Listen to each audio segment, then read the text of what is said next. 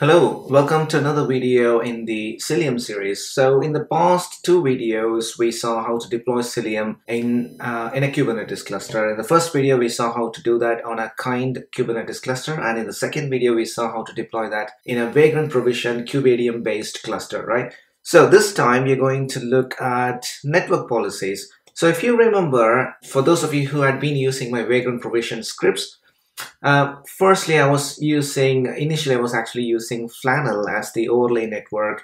Um, and then I switched to using Calico because, you know, Flannel provides basic core networking feature for your Kubernetes cluster. But what it lacks is uh, the more and more I use, I started using Kubernetes cluster, I started to rely on using network policies to control network access between uh, different services, different resources in the Kubernetes cluster, which unfortunately Flannel wasn't uh, able to provide. So network policies is one of the biggest thing that I will be using in my Kubernetes cluster, uh, but Flannel doesn't support network policies. So, so that's the, otherwise Flannel is easy to deploy. So that's the reason I switched uh, long ago, uh, long back from Flannel to Calico. And if you want network policies, you could choose one of the other uh, CNI providers as well, like Weave Net.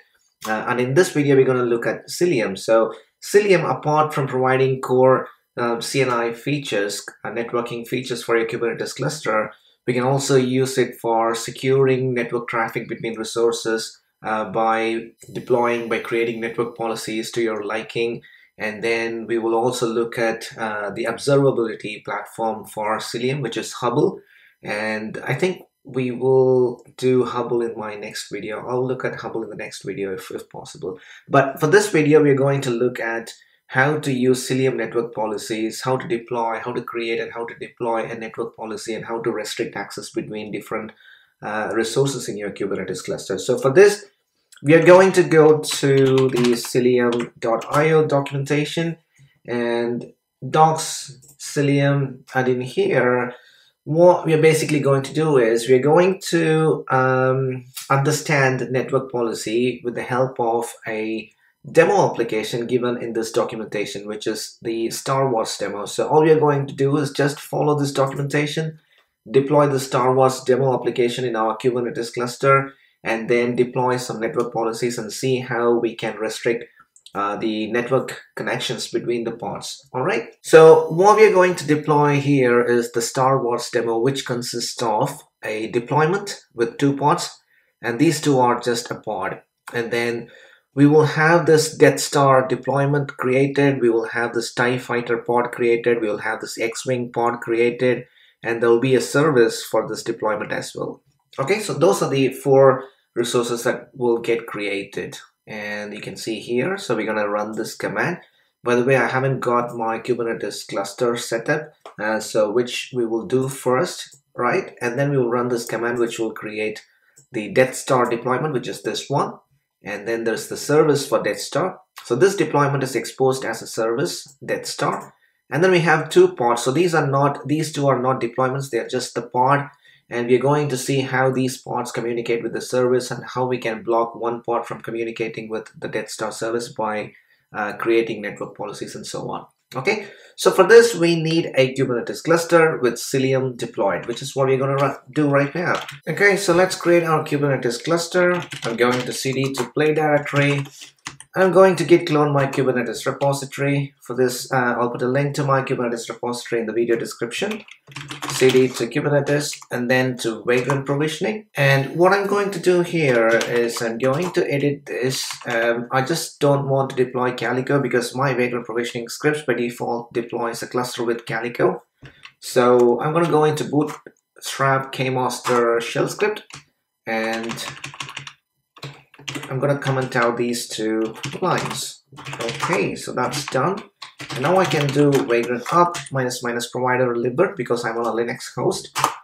Right, so once this command completes, uh, we're going to be having a Kubernetes cluster with a master node and two worker nodes without a CNI, and then we will deploy Cilium on top of it. And this one is going to take about four to five minutes. So I'm going to pause the video and come back when it's done. Alright, so the command completed, it took 4 minutes and 45 seconds. Um, I'm gonna make the .kube directory under my home directory.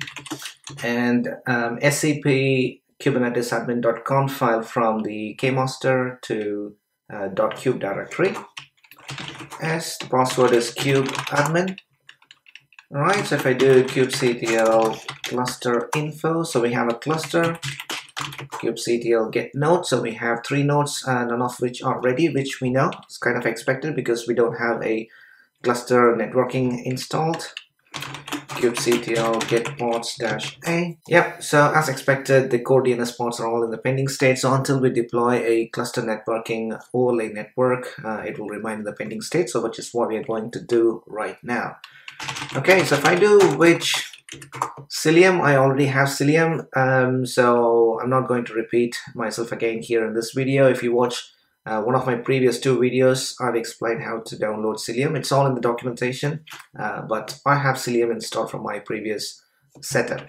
So now we're going to deploy Cilium in our Kubernetes cluster. So Cilium install minus minus version 1.15.1 Okay, so it has auto-detected our Kubernetes based on our kubeconfig file and it is deploying Kubernetes, sorry, Cilium in our Kubernetes. So if I do Cilium status, okay, status check failed because it is being deployed, so there are errors and warnings which you can ignore for the next few seconds. Okay, it's been 20 seconds. Let's check the status now, Cilium status.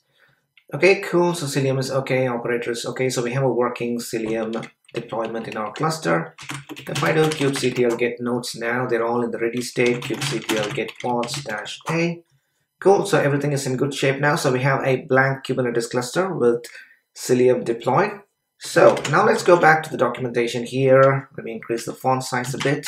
Okay, so what we're going to do is we're going to deploy the Star Wars demo with the Death Star being uh, the deployment and these two are pods and we are also going to expose the Death Star deployment as a service. So everything is done by just running this kubectl command. So copy that and then paste it here. Okay, so deployment service for Death Star and pod for TIE Fighter and X-Wing deployed. And it's all being deployed in the default namespace. So if I do kubectl get all in the default namespace, okay, so we see containers being created for Death Star and TIE Fighter, and there's the service for Death Star. Okay, so that's the cluster IP service. Okay, so kubectl get all. Okay, so everything is running fine. Let's go back to the documentation. Okay, so we've done that. So um, the deployment service are all running fine. Okay, so we are looking at the Cilium network policy. So now we don't have any network policies. So if I do kubectl get Cilium network policies, I don't have any Cilium network policies deployed. Let's check in other namespaces as well. Okay, so we don't have any Cilium network policies deployed. So you could also do CNP as a shorthand for Cilium network policies. So we don't have any network policies at the moment, okay? Which means, so this pod can communicate with the Death Star service and again this pod can too communicate with the Death Star service. But by design, the Star Wars demo, only pods with the label org equals empire should be able to connect with the Death Star service and this pod where the label org equals alliance shouldn't be able to connect to the Death Star service. But given we don't have any network policies deployed at the moment, both these pods can communicate with the Death Star service. So that's what we're going to take a look now. Okay, so what we are going to do is before deploying the network policies, we are going to check the current access, what sort of access we have right? So first this command here. So what we are trying to do here is from within the X-Wing pod, which is this one, X-Wing pod, which is which should not be able to connect to the Death Star service.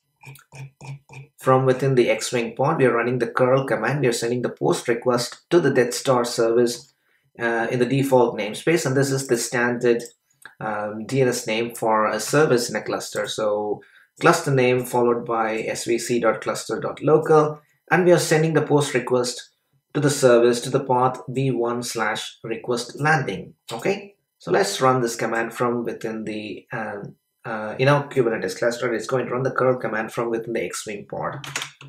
Okay so let's run that. And what we are getting is a response back from the Death Star service which means our x-wing pod can successfully communicate with the Death Star service and get a response back. Okay, And the second one is again the same command, but from within the TIE fighter pod. Okay, paste, and you get the response back. So the moment we don't have any network policies and both these X-Wing pod and the TIE fighter pod uh, can send request, post request to the Death Star service and gets the response back. And now let's do some layer 3 and layer 4 network policy. So what we want is, what we want to achieve is this one here. So any pod with the label org equals empire, I mean the class TIE fighter pod should be able to communicate with the Death Star service on the port 80, on the TCP port 80. So TIE fighter should be able to communicate with the Death Star service on TCP port 80, whereas the X-Wing pod shouldn't be able to communicate with the Death Star service. So that's what we're going to, we're trying going to achieve using Cilium network policy. Okay, so this is the policy that we are going to deploy.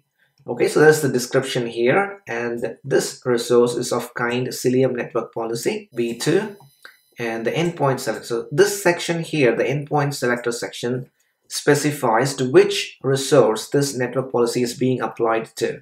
So if you see here, this endpoint selector is being applied to any resource that has the label org equals empire and class equals Death Star. So you can see here org is empire and class is Death Star. So this Cilium network policy is being applied to this resource here. Okay. And um, so what type of network policy we are deploying here? We are creating an ingress uh, based network policy. So which means we are restricting the incoming connection.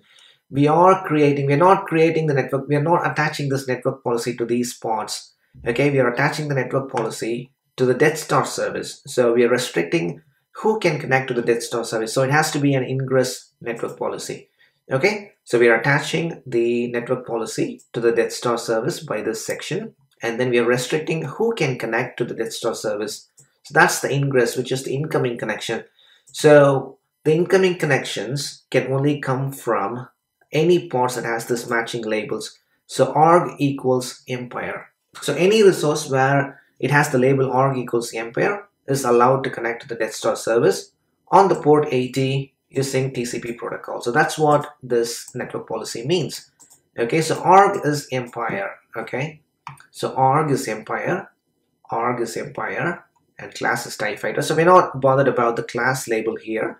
So if you compare these two pods, the org label, uh, the org is empire for this TIE fighter pod, org is alliance for the X-Wing pod. So based on our policy, it's only this pod that can communicate with the Death Star service and that too only on the TCP protocol uh, on port 80 because we are restricting to which port on the Death Star service it can connect to. So it can't, although the uh, although the TIE Fighter pod can communicate with the Death Star service, it can't communicate with ports other than port 80 on uh, protocol TCP. Okay, so that's what this one is about.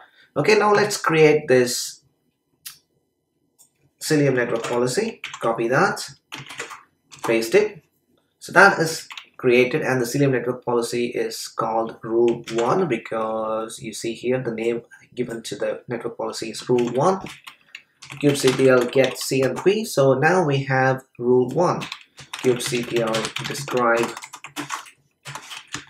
Cilium network policy rule 1 so you can see the policies so endpoint selector is this one. So we have the ingress from endpoint any ports with the label org equals empire are allowed to send request to the Death Star service on protocol uh, using TCP protocol on port 80. So that's what this rule is about. Okay, so now let's do the same testing again, which we did previously. Okay, so from within the TIE fighter pod, okay, we're going to run the command, the same command that we ran a while ago. So ship landed, that's fine because we're sending the post request from the TIE fighter pod, which has the label org equals empire. So by default, that is allowed.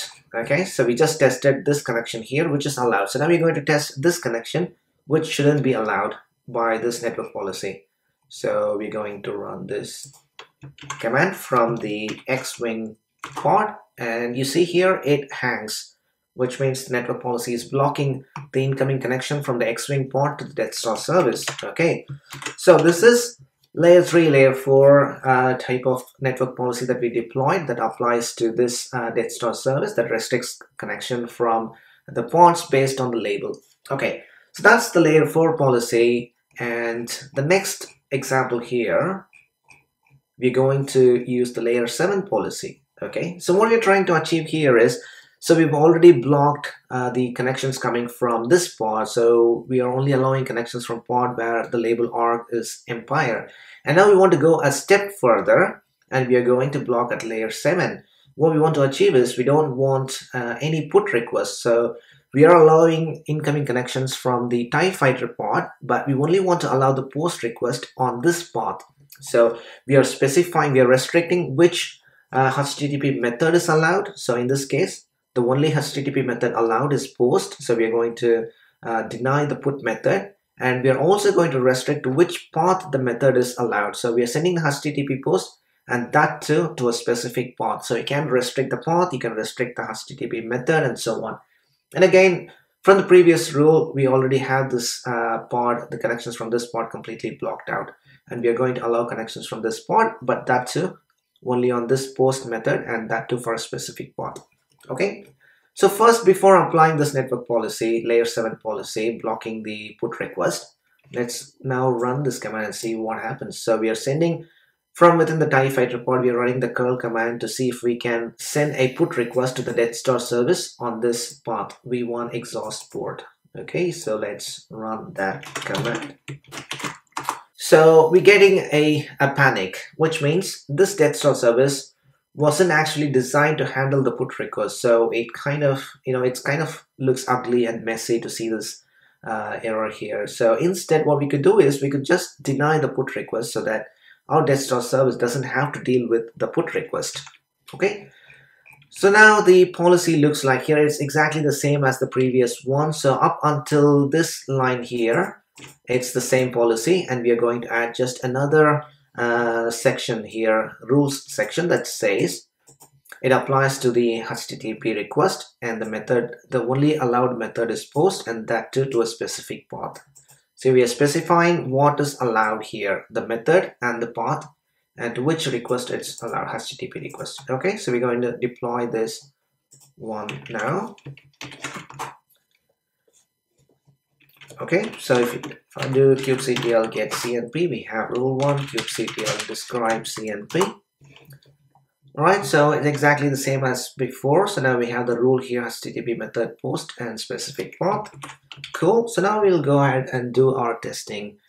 So the first testing is the TIE fighter, which is which should be allowed, and we are sending the post request. That's the valid request. Okay. So we are testing this connection here from a valid pod, a valid uh, HTTP method, and a valid HTTP path. So that's what we are testing now. Okay, copy, paste, ship landed. So the Star service accepted the connection, it responded back. So that's all fine because that's a post request coming from the TIE fighter pod, which is allowed. So now we're going to do uh, the same thing that we did previously where we got the, uh, the goroutine error, panic error. So now we're copying that, sending the put request to the Star service. And now we don't get that panic so we get the access denied error. Okay so that's kind of working fine. And again just for the completeness sake we are just going to run this command which will be completely blocked and it will just hang there because the network policy is blocking the network connections. Okay so I'm gonna press Ctrl C Cool, so that's about it. So this is how you create uh, the network policy to restrict connections between your resources in your Kubernetes cluster. Okay, so I think that is it for this video and let's do this cleanup here. Okay, copy the first line. So that's going to destroy the Star Wars demo that we deployed. So the two pods, the Death Star deployment and the Death Star service. And then we will delete the CNP. Okay, so kubectl get all. Everything is gone. Let's also delete the Cilium network policy that's gone. Let's also do vagrant destroy minus f. So again, thank you so much for watching this video. That's all for this video and I will see you all in my next video. The next video is going to be the Hubble UI, the platform, the observability platform using Cilium. Alright, see you all in my next video. Until then, keep learning and keep on learning. Bye-bye.